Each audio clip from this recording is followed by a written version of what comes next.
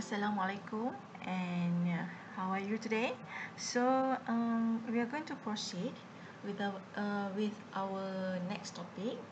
So the topic is about PWM. Okay, uh, this is one example of another Arduino basic programming. Okay, so far uh, previously you have learned on the input output ports okay. Uh, the other uh, new peripheral that is important for you to uh, develop your robot or your mobile robot is the PWM module. So this PWM module it is can be accessed from the Arduino Uno port uh, that is specialized for the PWM function. So the ports are ports number 3 5 6 9 10 and 11 so if you look into your Arduino board you can see there is a curly symbol at certain number. So uh, the curly means that this pin uh, it can be used as the PWM pin. So we have six pins. We have 3 5 6 9 10 and 11 okay so when you find a curly symbol at the number it means that this pin is also dedicated for PWE uh, is also dedicated for PWM pin. Okay, so only uh, 3, 5, 6, 9, 10, 11 pin can be used as PWM pins on Arduino Uno board. But the question is, can it still be used as normal digital pin? Okay, if let's say uh, you are not going to use that pin for PWM, but can you still use that pin as the normal digital pin? The answer is yes, you can still use it as a normal pin. So what is the purpose of PWM? So PWM is a technique used to generate analog output signal using the digital signals. Okay, uh, it is commonly used to control the average power delivered to a load okay for example like LED you want to dim the LED light so you can use uh, PWM okay second is to control the speed of your motor. Then to generate analog voltage levels for generating analog waveforms. Okay in this example uh, the PWM is used as the idealized inductor driven by a voltage source which is the blue line okay. This voltage source is modulated as a series of pulses.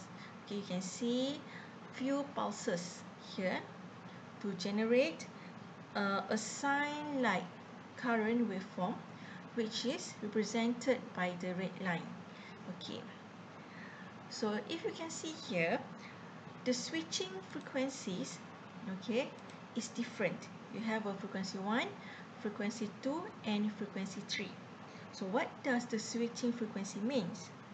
So the purpose of having uh, the switching frequency because it will determine uh, the smoothness of the generated sine light current waveform in this example.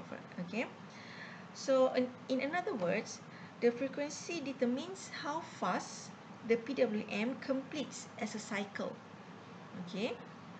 For example, let's say if the signal is running through 100 Hertz, it means that it would be have 100 cycles per second. Okay, that is uh, one example.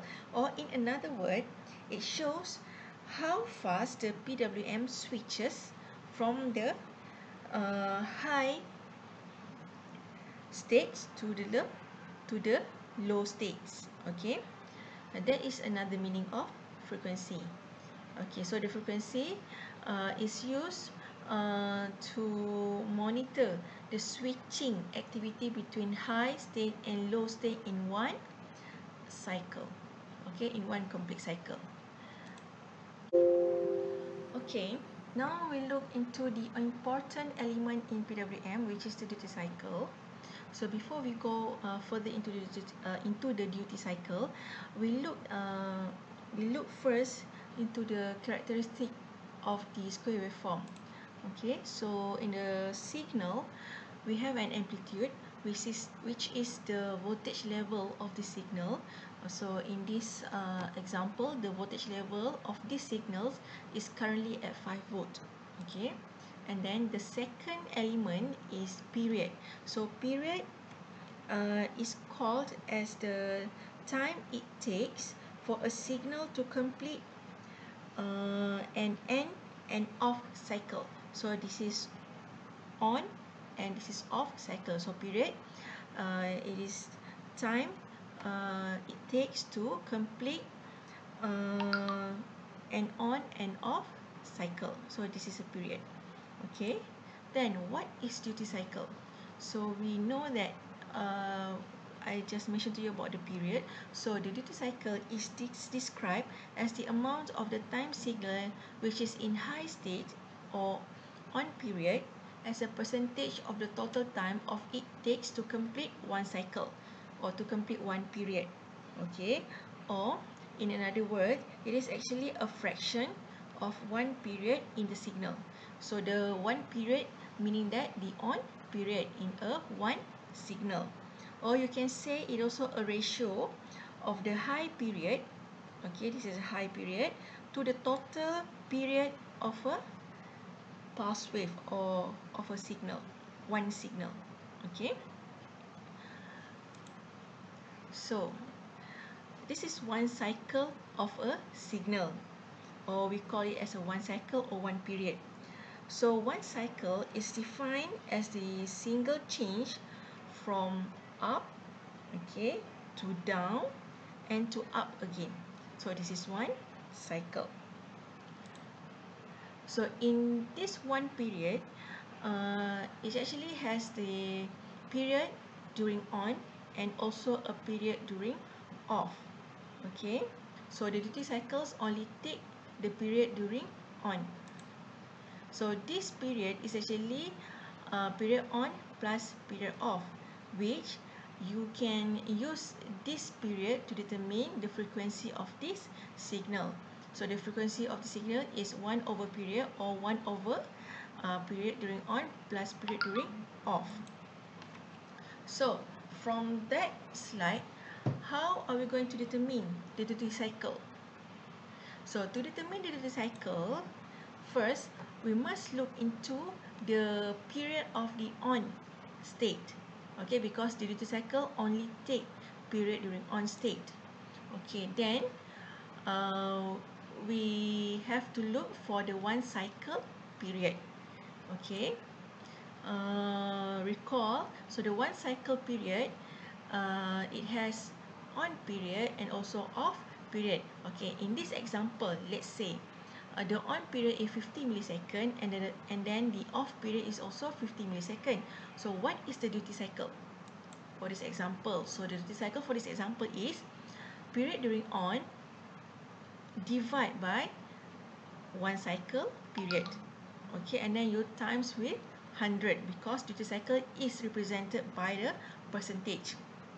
So for this case you get a 50% of duty cycle okay and it is logic because uh, you can see uh, the pulse width of the on period is similar to the pulse width of the off period. Okay and therefore the duty cycle is 50% okay this is another example of duty cycle.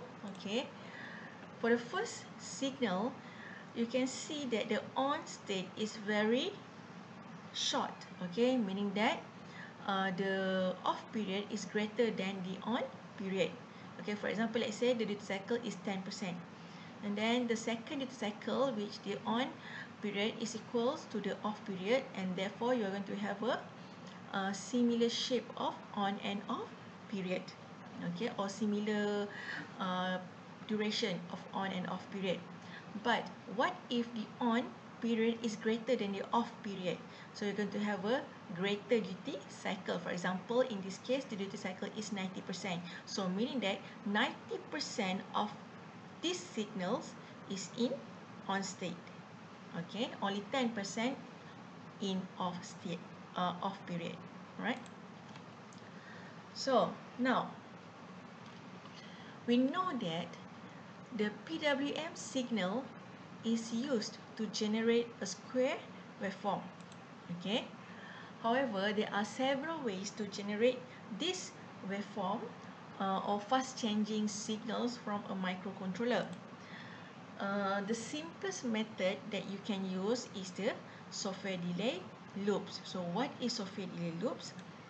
So software delay loops, okay, for example in your coding, okay, in the void loop function, you put the PWM pin in high for certain delay.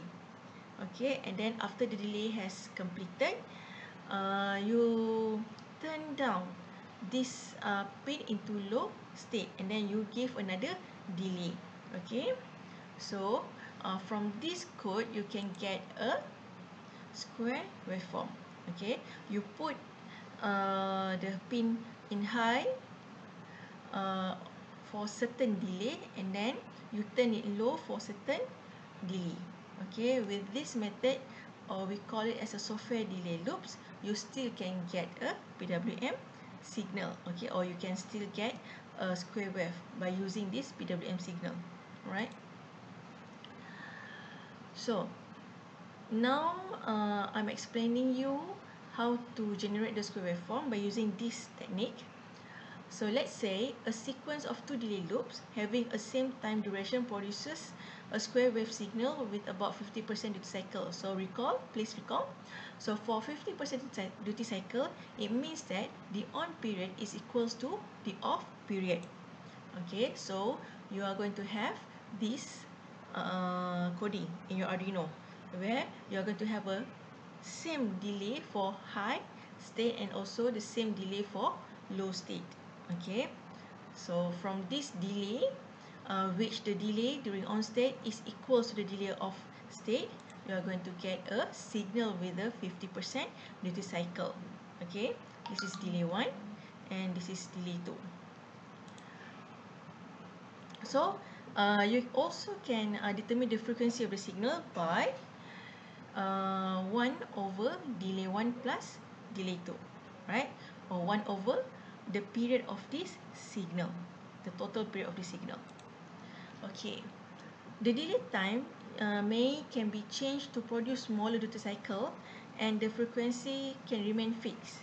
Okay by using the same frequency you actually can uh, vary uh, its duty cycle. For example in this case uh, you have a Arduino code here. Then you put your pin high with a delay of 500 or half uh, half second and then you are uh, after half second is completed then you turn the pin to low state which uh, you you put a higher uh, delay which is uh, 1.5 second. Okay from here you can see the delay on is smaller than the delay off. Okay so the signal that you will produce is this kind of signal. Okay, you have a shorter duty cycle here or you have a shorter on period. Okay, uh, so in this case, the duty cycle is less than 50%. Okay. But, however, the timing precision or the software delay loops uh, technique is not as accurate and difficult to control okay and then a much better way is to implement the built-in PWM module in the Arduino Uno so meaning that by using the software delay loops you are going to have uh, not so precise uh, square waveform to be generated okay but you also uh, it is advisable for you to use uh, the built-in PWM pin which is pin 3 5, 6, uh, 9, 10, 11 on the Arduino Uno to produce this square waveform. Okay, so in the next topic, I'm going to teach you how to generate this square waveform by using the PWM, PWM pin on the Arduino.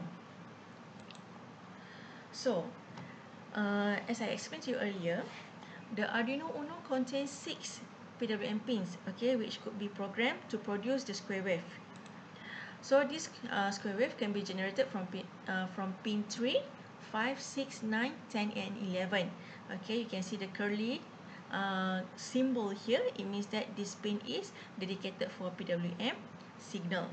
Okay, from this pin you can generate a square waveform okay which is more precise and more accurate than the software delay loops techniques all right okay so the on state also called as a width right so how to program uh, the PWM on Arduino Uno okay so this is the programming syntax that you can use. Uh, you can use the analog write pin pin meaning that the pin number of the PWM okay you can select which pin that you want to use. You can select from 3 5 6 9 10 and 11 and then you need to put the PMW uh, PWM value. Okay so what does the function do? Uh, the function will write an analog value which is the PMW uh, PWM uh, value to a pin. Okay and then in Arduino Uno the frequency of the PWM is approximately 500 Hertz okay?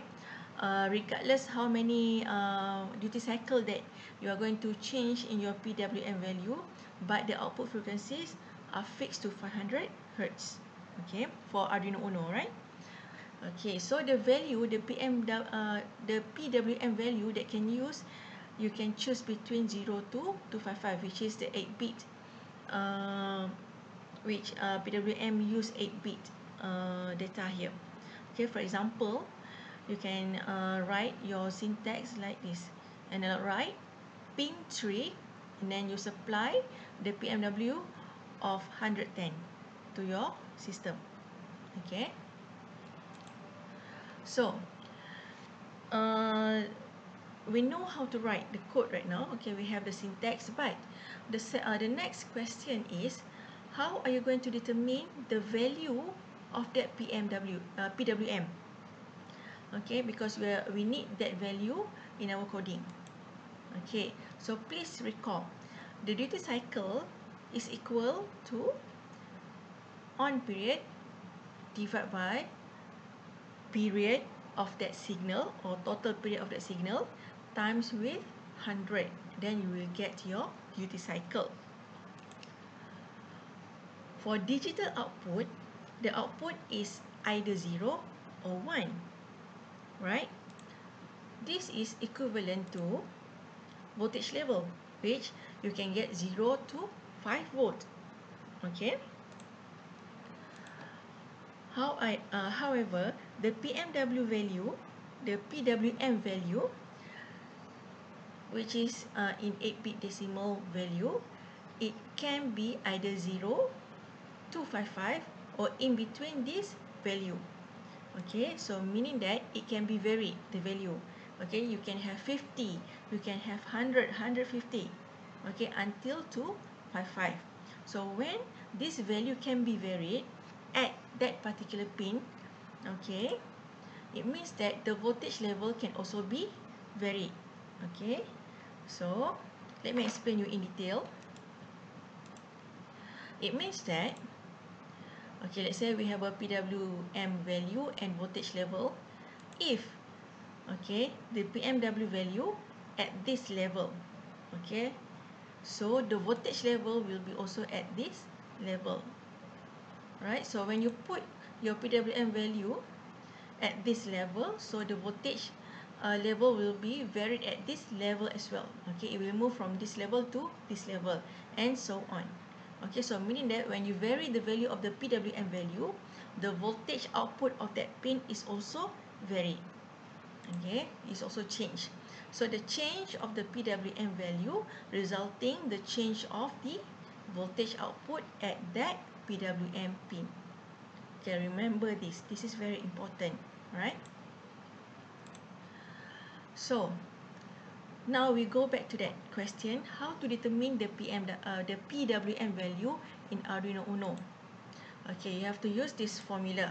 So the PWM value is equals to duty cycle divided by 100 and you times with 255, which is equals to uh, time during on divided by the total period of that signal times with 255 and also the V out okay, at that pin divided by Vs times with 255.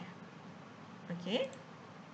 So for example, please write an Arduino code to run the motor using PWM signal with the output voltage of 3.5 volt at digital pin 5. Okay, when it says at digital pin 5, you directly know that this pin can be used for PWM signal. Okay, so the solution here is to determine the PWM value, we have to look into that question. What kind of information that has been provided for you? Okay, for example, in this example, there are two information that has been uh, provided for you. The first one is the V out. Okay, the V out of the pin. Uh, what pin? Pin number 5. Okay, so uh, we have three kind of formula that can be used to determine this PWM value. So you can use either one that is related to the information given. So as we as you can see, because you have the V out uh, value here so you can use this function PWM value is equal to V out divided by Vs times with 255 so what is Vs so Vs is actually the voltage source from the Arduino which is 5 volt. Okay? So you can uh, calculate it, the PWM value 3.5 divided by 5 you times with 255 and then you will get 178.5 and then you round it to the to the nearest value which is 179 okay?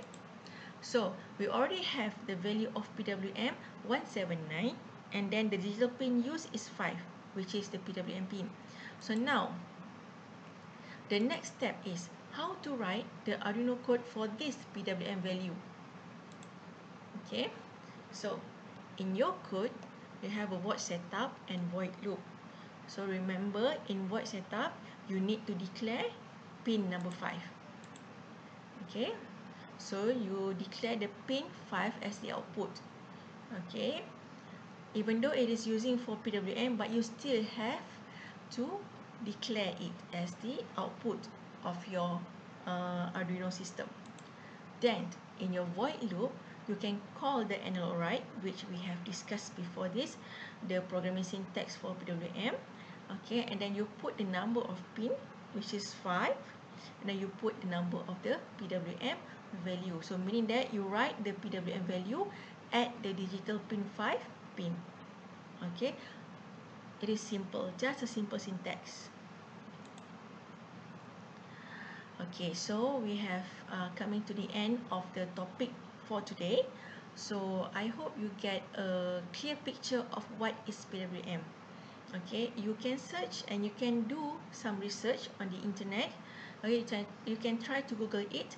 Uh, you can find another um, uh, additional notes on this PWM topic and hopefully uh, that will help you to understand this topic better okay so uh, after this uh, in our next class uh, or our next session I'm going to teach you how to uh, run the PWM code in the Arduino and we will see the outcome of that code. Okay, thank you very much. See you again.